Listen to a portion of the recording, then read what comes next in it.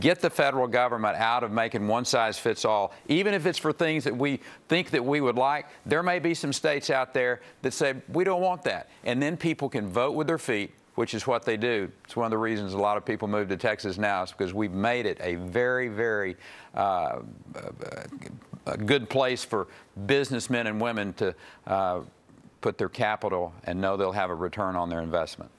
Go Governor